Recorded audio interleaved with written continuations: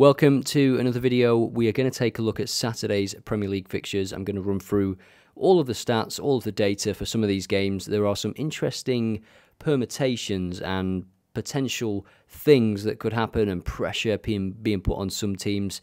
Um, of course, at the bottom there, just behind my nose now is um, Arsenal, who have just completely bottled the league, haven't they? Let's be honest. Um, I see people trying to like protect them and say, oh, you know, they've had injuries and whatnot. They have had injuries, but they they should have won the league. I mean, it was in their hands. They were eight points clear. Um, and the pressure of Man City chasing them, I think, got to them. Um, Liverpool at home to Aston Villa, fifth against eighth, which is just a credit to Unai Emery there.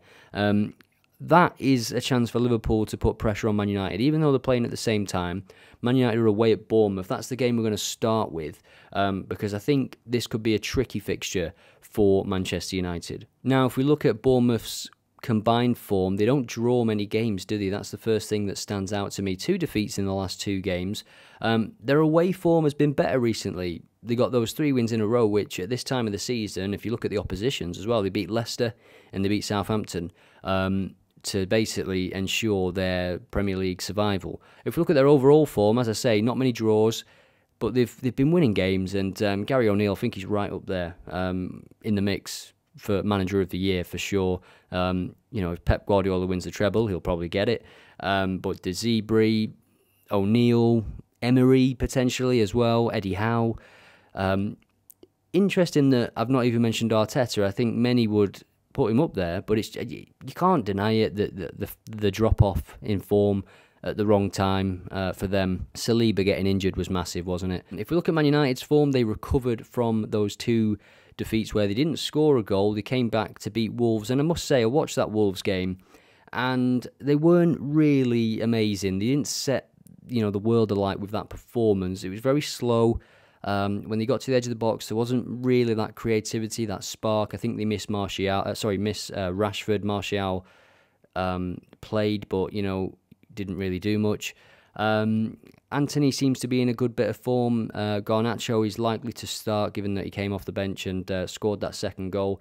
Um, I think once he gets his decision making sorted, there was a few times in that Wolves game where he could have just fed somebody in and he's like, you know, dilly dallying on the ball. Um, he's a good sub to bring on, and obviously he's going to be full of confidence. I do think he starts this game, and it could be quite an open game given the way that Bournemouth have been playing recently. If we do an AI prediction for this game, let's see what score we get. You can see that if I was to um, select Manchester United to win, I would get 2.05 points back on the predictions um, game on OddAlerts. And um, if you want to see the rankings, we can do that quickly to see who's top of this game week. The previous game week, the winner was Rob. Again, um, I sent him an OddAlerts mug. He was also manager of um, the, the previous month. Um, so he won a mystery football shirt as well last month. So if you want to get involved in this, you can do that quite easily. Just create a, an OddAlerts account, free or pro, um, and you can start adding predictions and um, yeah, getting yourself on those leaderboard rankings. So onto the AI prediction, you can see that um, it gives a uh, probability uh, model rating of 27% for a Bournemouth victory. So we should expect a Man United victory with this generation, but you never know. Let's see what it does. It is a 2 1 victory to Manchester United. Um, it was the most common scoreline as well. 1 1, not too far behind in terms of common scorelines. So, my own prediction for that is actually a draw. Um, I do think we could see a 1 1. Um, I don't think if Rashford's out, if Martial's still not playing well, if Sancho's still not really as effective as he could be, if Bruno Fernandes is sulking, which let's be honest, he probably is, then I think Man United could struggle. Um, I think if they don't get that goal early or they don't stamp their authority on this game straight away, then um, Bournemouth will grow into the game and um, last home game of the season. This is it, you know, for a lot of teams. Liverpool's last home game of the season. Um, Firmino likely to play. Um, I do think this kind of stuff makes a difference. The the psychology of the scenario, the occasion, you know, it, it does play a part. And you see some of the home teams playing Anfield. Spurs, they're doing a you know um, some sort of montage, or that they're they're giving something to Harry Kane for being the all-time top scorer, um, and there's some like a mural as well on the way to the ground. Might be a farewell kind of celebration as well because Harry Kane that could be his last game. But there's just these these home teams where you think Anfield's going to be rocking. Um, Bournemouth's going to be rocking. Forest is going to be rocking. Um, and I I believe that the crowd is one of the biggest differentiators. To be honest, you know, teams going to places like Anfield, and um, that was confirmed during COVID. You saw the away form. Um, the away teams were winning in the Premier League like never before, scoring goals like never before away from home because there was no fans. Um, simple as that, really. If fans come back, that that anomaly of a stat is uh, is no longer there. On to Liverpool against Aston Villa, and we'll start by looking at the last 10 fixtures, and we can see that it's almost identical. Both teams have won 70%, so 7 out of 10, um, which is pretty good. And um, in terms of points, Liverpool have one more point during that period, which is 23 compared to 22. I think I saw somewhere the other day um, that Aston Villa, since Emery took over, he I think they're third in terms of total points um, tallied up during that time. He's done a really really good job, and we can see the results. Um, first with Liverpool, I think this is going to be a fun, high scoring game. Two teams playing with great confidence. Um, this is a game that suits someone like Ollie Watkins. I think end to end counter attacking football. Um, Coutinho playing with Firmino on the pitch will be nice. Um, I think that'll be a decent occasion for, for both sets of fans, especially Liverpool fans, saying goodbye to Firmino, who has been um, a super player and person at the club, scored some very big goals. Um, one thing that Jurgen Klopp will be very pleased with is the clean sheets. Three clean sheets in a row now, and um, he's getting a lot out of certain players. Um, he can be proud of what Trent is doing in, in the middle for sure. So it's a sea of green for Liverpool. Let's check out Aston Villa. A couple of defeats um, in recent times, and we saw, didn't we, with the last 10, that they've won seven of the last 10. Um, also, a trend of clean sheets before those defeats, of course. Um, they beat Spurs, which they should have scored a lot more in that game. Um, Spurs really just need the season to end, I think. We'll take a look at that game next. Let's have a look at goals conceded.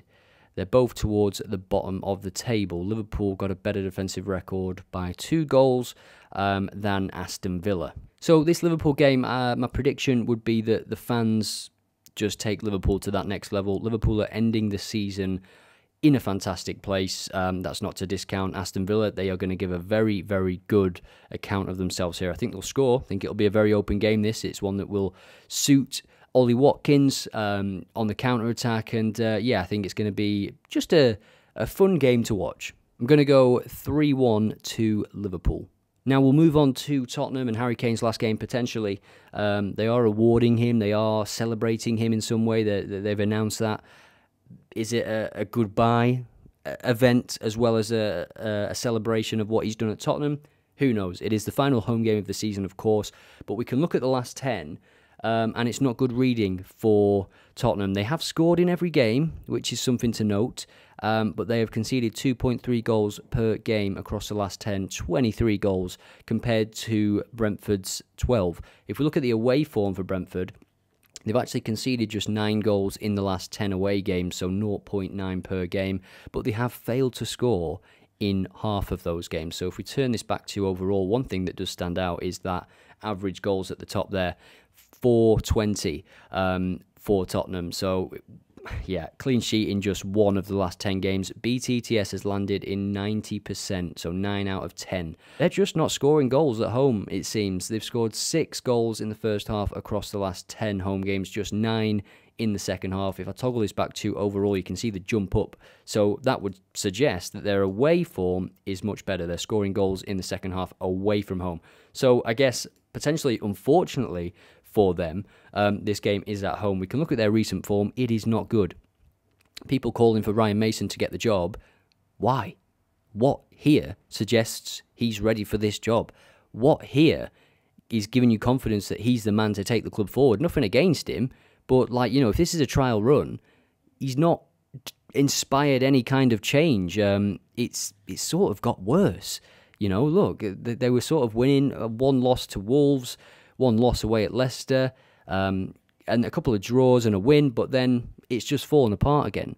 I think Tottenham will struggle in this game. I think we might see a draw. Um, if we look at Brentford's away form quickly, it's not great. They are better at home. One defeat at home in a very long time. So that's three games this Saturday. As always, please let me know what you think will happen in these games. Can't wait to read your comments. Do you agree with me? Do you disagree with me? Uh, will Liverpool get in the top four? That's my question to you. Please answer in the comments. And if you like these videos, subscribe.